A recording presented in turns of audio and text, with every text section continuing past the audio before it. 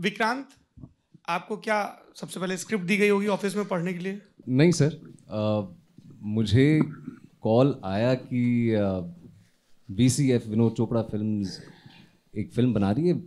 Vinod sir आपसे मिलना चाहते हैं।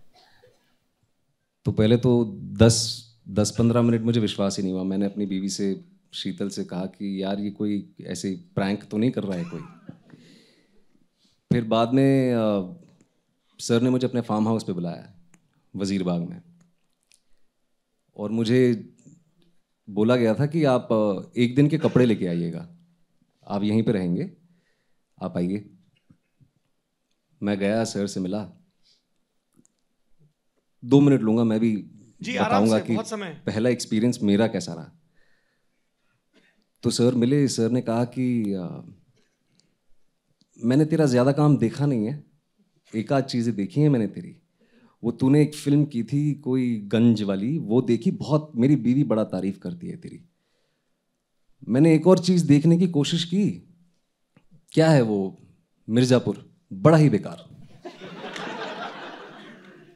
और मैं सोचूं कि यार, वो तो पूरा देश पसंद कर रहा है। सब बबलू भैया बबलू भैया करके फ़ोटो खिंचा रहे हैं। कहते कि मैं दूसरा एपिसोड शुरू किया देखा ही नहीं गया, मैंने आधे में ही बंद कर दिया। चल खैर, बहरहाल तू एक किताब है, वो किताब पढ़। और इसके ऊपर मैं फ़िल्म बना रहा हूँ। तू बता तुझे क्या लगता है। मुझे कमरे में भेजा।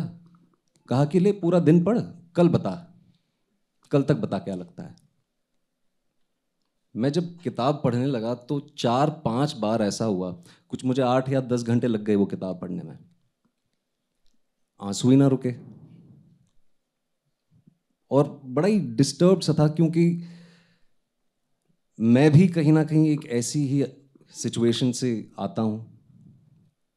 कुछ ऐसे अनुभव मेरे भी हुए हैं जीवन में जहाँ पे आर्थिक स्थिति कुछ ठीक थी नहीं। सोलह साल की उम्र में काम करना पड़ा। बाय बाय चॉइस नहीं था वो। तो मैंने उसी वक्त डिसाइड कर लिया था रात के एक डेढ़ बजे कि ये फ़िल्म बनेगी तो इसका हिस्सा तो मैं किसी भी हाल में बनूँगा। और फिर वहाँ से सिलसिला शुरू हुआ और आज यहाँ आपके साथ बैठे हैं।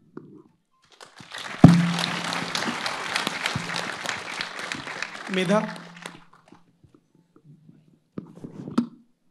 मैं एक बात ऐड करना चाहता हूँ जो इन्होंने नहीं कही। मैं अपने स्टडी एरिया में था। दूसरे दिन सुबह जब ये नावल पढ़ चुका था विक्रांत तो मैंने कहा, यार, पहला सीन है। तेरी उम्र क्या है? इसने बताई, जो मैं नहीं बताऊँगा। तो मैंने कहा, पहली तो 19 साल वो लड़का है, कैसे करेगा? तो सोचा, मैंने कहा, कैसे करेगा? तो ये वहीं ज़मीन पे एकदम चाइल्ड पोज में आ गया, जो पहला शॉट है फ़िल्म का, जो आसमान से आप, बिल्कुल वैसे इसकी पूरी बॉडी लैंग्वेज चेंज हो गई और ये बिल्कुल अठारह उन्नीस साल के लड़के की तरह बैठ के लिखने लगा।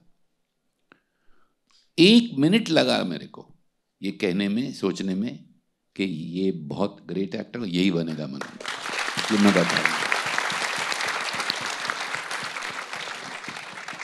और वो पहला शॉर्ट फ़िल्म का एग्जैक्टली exactly वही है, जब ऊपर से आता है, वो ऐसे ही बैठ के आप देखिए, वो चीटिंग के नोट्स बना रहा है। वो एग्जैक्टली exactly जो इसने कई साल पहले मेरे वहाँ किया था। और इसकी बॉडी लैंग्वेज जो है अच्छा एक बात मैं आपको और बता दूँ कि हमने कुछ बजट रखा था। जैसे विकास सर के लिए रखा था मेकअप के लिए रखा था, उसके मेकअप के लिए और डिजिटाइजेशन के लिए। कि ये इतनी उम्र से इतनी उम्र जाएगा तो स्किन पे काम करना पड़ेगा। हमने बहुत हर फ़िल्म में किया है। ये लड़का गया, तीन महीने से, पहले एक साल रिहर्सल की, फिर शूटिंग से तीन महीने पहले सब काम छोड़ दिया। आठ या ग्यारह किलो, इसको पता हुआ कितना इसने लूज़ किया। और फिर चंबल में गया, वो गाँव में महीना पहले, पंद्रह दिन पहले स्किन इसने, वो सूरज की रोशनी में लेटा रहा, पूरी स्किन इसने बर्न की। तो इसके चेहरे पे बिल्कुल मेकअप नहीं है।